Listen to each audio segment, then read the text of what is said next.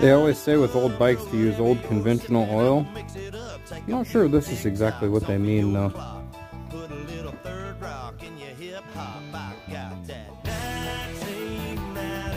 I'm gonna use it anyway. It's brand new, sealed.